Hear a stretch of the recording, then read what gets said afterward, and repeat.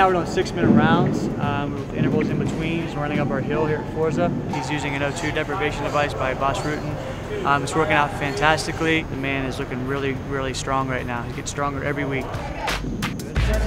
Eight, all two, seven, eight, four, up, one,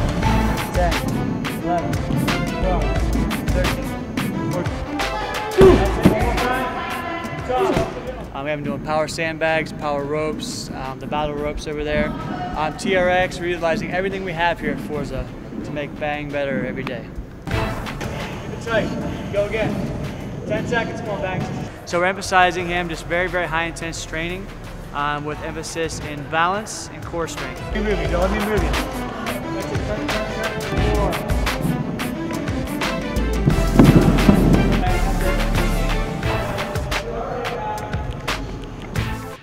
Pure professional.